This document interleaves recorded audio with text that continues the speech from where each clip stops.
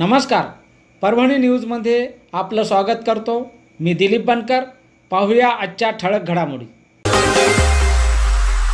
त्रिपुरा येथील घटनेच्या निषेधार्थ बंद. त्रिपुरा येथील प्रकरण. गुन्हेगारावर कारवाईची मागणी. जिल्ह्याभरात प्रशासनास निवेदन. मुस्लिम समाज बांधवाचे आंदोलन. त्रिपुरा राज्यात मुस्लिम समाज बांधवावर करण्यात येत असलेल्या अत्याचाराच्या निषेधार्थ.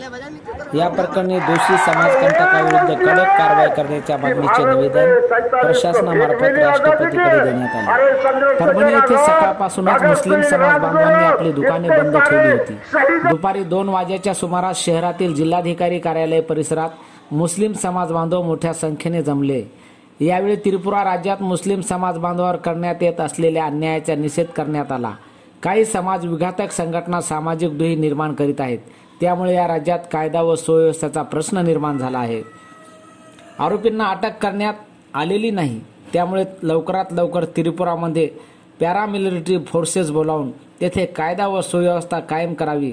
तसेच हिंसाचार घडविणाऱ्या संघटनावर बंदी घालून दोषीवर कठोर कारवाई करावी अशी मागणी करण्यात आली. त्यानंतर जिल्हाधिकारीमार्फत राष्ट्रपती व केंद्रीय गृहमंत्री यांना मागण्याचे निवेदन देण्यात आले. त्रिपुरातील राज्य सरकार बरखास्त करावे.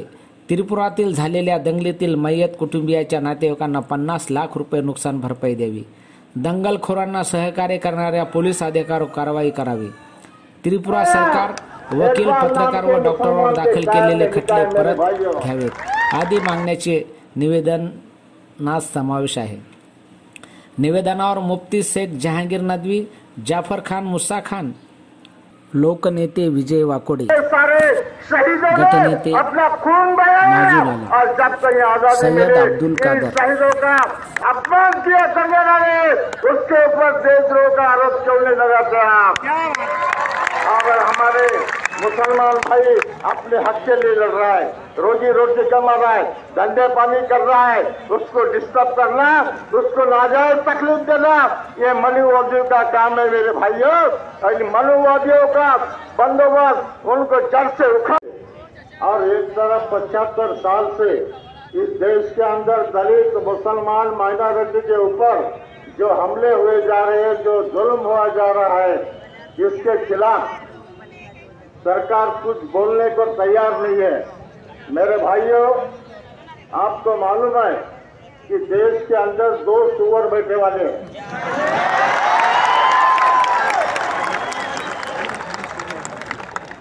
और ये जब तक दो सुअर को उखाड़ के नहीं फेंका जाता, जब तक अमन और शांति नहीं रह सकती भाई।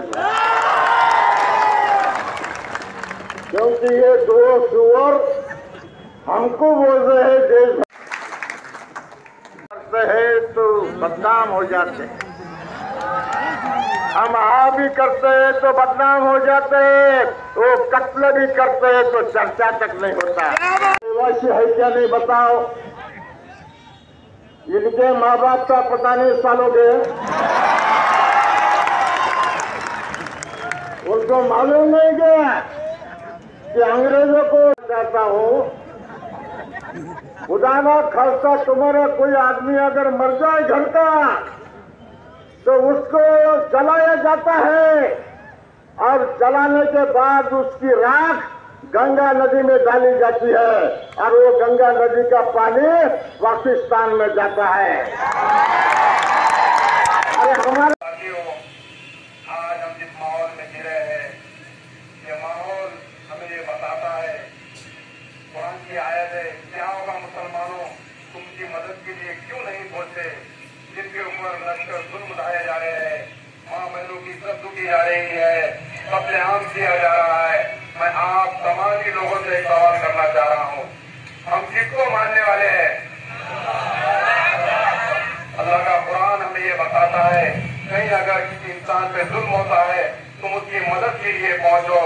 मैं दिन से मुखातिब होता हूँ और हिंदुस्तान की तमाम एजेंसियों से मुखातिब होता हूँ कि हम लोग हाथ में चूड़िया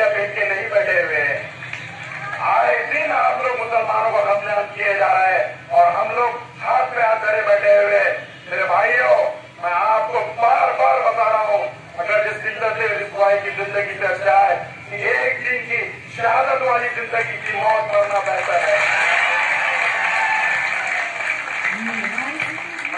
आप समाधि से हर मरना वही पूछना चाह। ज़िंदगी और मौत का मालिक कौन है? ये ज़िंदगी मौत किसकी अमानत है। आज तक ने हम लोग ज़िंदगी की है कैसी भी ज़िंदगी गुजरे, मरने से पहले अगर हम लोग शहादत की मौत मरते, अल्लाह की राह में मरते किसी बेगुनाह पे जुल्म होता है। उसको बचाते बचाते कभी हम लोग मरते कहीं ना कहीं जन्नत के कोर में हम लोगों को जगह नसीब होंगे। पाए दीन, बड़े बड़े अकादरीन को। ये मैसेज दे रहा हूँ, ये मामले आए थमने वाले नहीं है। इन लोगों ने गुजरात से ट्रायल शुरू करा।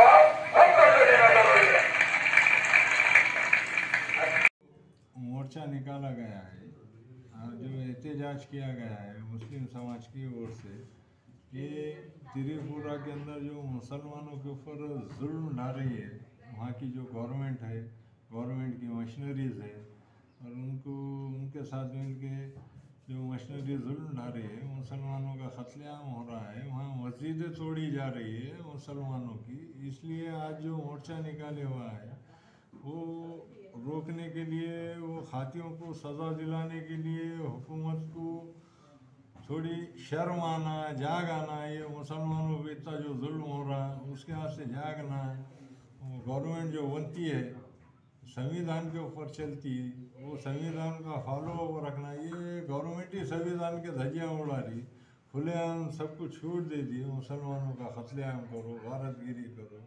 ये तरीक़ा नहीं है। गवर्नमेंट का, गवर्नमेंट चलाने का, ये गवर्नमेंट को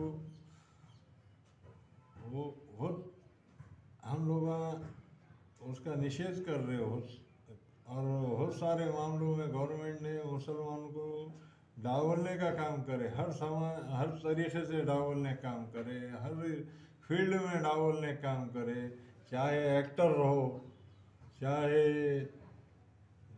हमारा धर्म गुरु रहो वो कोई भी किस्म से उसके ऊपर विलेम लगाना, इनको सुप्रीम कोर्ट, हाई कोर्ट, ये बेगरत हो गए, इनको फटकारा लगाए हुए।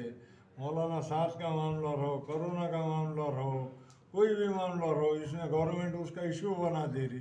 टारगेट कर रहे हो मुसलमानों को, ये तरीका नहीं है। ये बाबा साहब का संविधान जो लिखे हुआ है, ये संविधान के ऊपर चलने के बड़े बड़े खसमा खाते। ये उनके समाज के नहीं हुए खसम खाए, बात तो दूसरों क्या होंगे? ये हमारा विरोध है और हम इनका विरोध करते रहेंगे। अब हम खामोश बैठने वाले नहीं हैं, अब हम ये जो होना, जैसा होना, इनको वैसा जवाब देते रहेंगे।